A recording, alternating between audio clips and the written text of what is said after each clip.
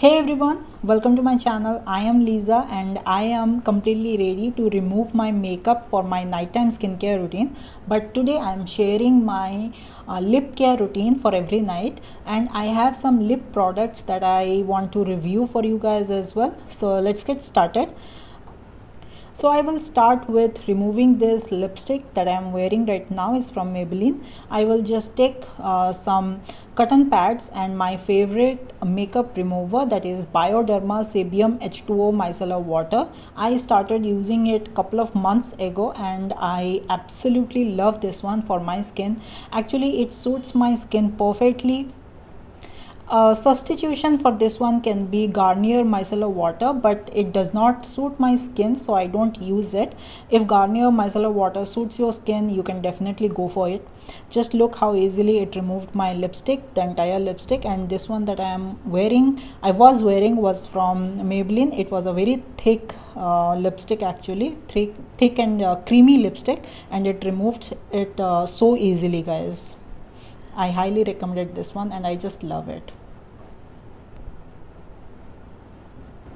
The next step is uh, exfoliation guys. And currently I am using Just Herbs lip scrub in the flavor mint. I purchased this one from Smytten and this is actually a trial size one. The regular size is retailing for 395 rupees. So a little bit pricey uh, for what it is. And there are so many lip scrubs available in the market right now that you can try. Definitely that are much uh, less price than this one this scrub however guys from just herbs is really good. It is not too harsh on my lips and uh, it uh, has that exfoliating bits that are not too large. They are very tiny uh, uh, exfoliating bits and they feel so soft and gentle on my lips. Also it is quite uh, hydrating actually. It removes dead skin and dry skin from my lips. It is very important uh, to remove those uh, dry skins from your lip. That actually helps make your lip feel very soft and supple if your lips look dark or you have dark spots on your lip then regularly scrubbing your lip or exfoliating your lip is very helpful actually. So next I will just remove the leftover product from my lips. Um, just clean my lips with the same cotton pad that I used to remove my lipstick. You need to make sure that you, all the lip scrub that you have used uh, is removed from, from your lips.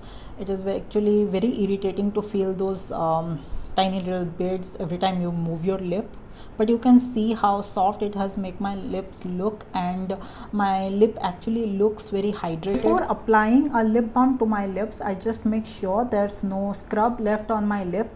So i just uh, take another clean cotton pad and a little bit of the micellar water to clean my lips thoroughly. Of course you can just go and wash your lips with water that's totally fine now the next step is very important guys. It uh, i apply a thick layer of any lip balm or lip mask before going to bed.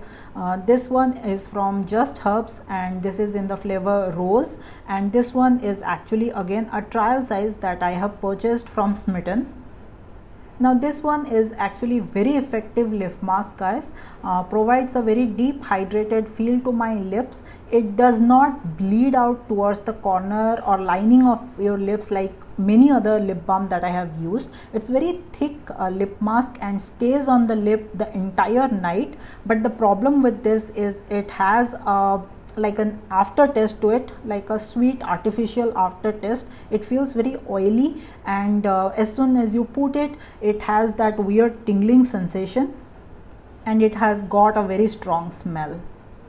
Now that's all for my nighttime lip care routine guys. I use a lip balm in the daytime anytime my lip uh, feels dry or like um, you know i need to have lip balm. So i have this lip balm that i use in the in my daytime. It is from Nykaa and this is not actually that great to be honest. Uh, you can buy any other lip balm instead of this. Now while i was buying just her products i came across this lip and cheek tint. This is in the shade uh, 06 pink forever and this is retailing for rupees 695 on Nykaa. To be honest i feel like it is extremely overpriced and you can uh, get better lip and cheek tint at a lower price guys. Uh, but um, it is very uh, drying actually. Uh, however it is extremely pigmented. If you want to use it on your lips make sure you have hydrated your lips quite well because it uh, is very drying and it will look very patchy on your lips if you have not hydrated your lips nicely but it does look very uh, pigmented and uh, uh, stays decently on lips. I mean yeah you don't absolutely need to have it but it's okay to try it once in a while. I have not tried it on my cheeks yet so let's try it on my cheeks. So yeah it uh, don't really I don't really wear a very pigmented blush on my cheeks. I wear very light peachy blush.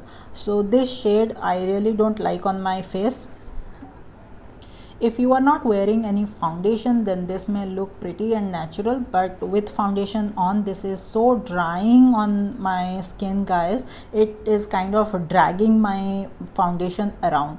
So it's a very hard pass from me guys. Uh, it's extremely overpriced and overhyped and it feels so dry.